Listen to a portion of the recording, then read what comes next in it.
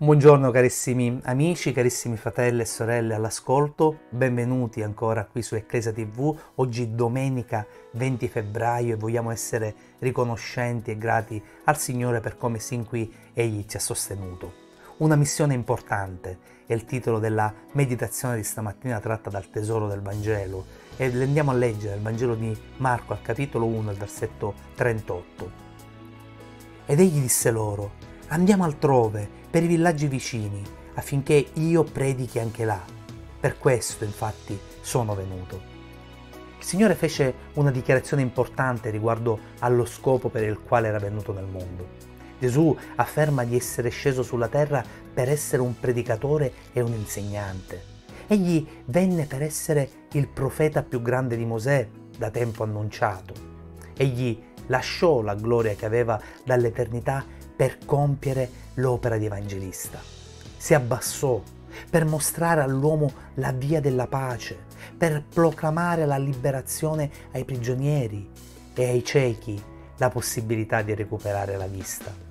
La sua opera fu quella di chi aveva il cuore rotto. La sua opera fu quella di diffondere instancabilmente pace a coloro che erano nella sofferenza, luce a coloro che erano nelle tenebre e perdono al più grande dei peccatori. Gesù attribuisce al ministero della predicazione un onore particolare. Si tratta di un incarico che l'eterno Figlio di Dio assunse personalmente. Egli avrebbe potuto svolgere la propria missione osservando dei cerimoniali al pari di Aronne.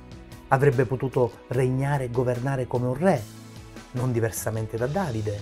Eppure fino al momento della sua morte come sacrificio per i peccati, il compito che si assunse instancabilmente fu quello di predicare la parola di Dio.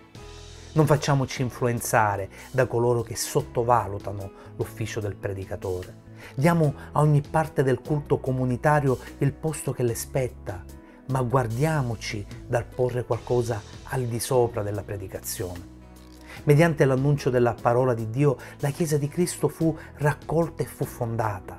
Attraverso la predicazione essa è stata sempre mantenuta prospera. Mediante la proclamazione della verità, i peccatori sono risvegliati. Le anime che cercano Dio sono condotte a Lui e i santi sono edificati.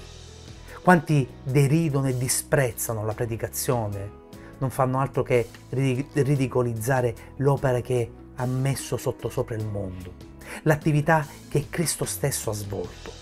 Il Re del Re, il Signore dei Signori, per tre lunghi anni fu più di ogni altra cosa un potente predicatore e che la sua predicazione possa colpire ogni giorno il nostro cuore.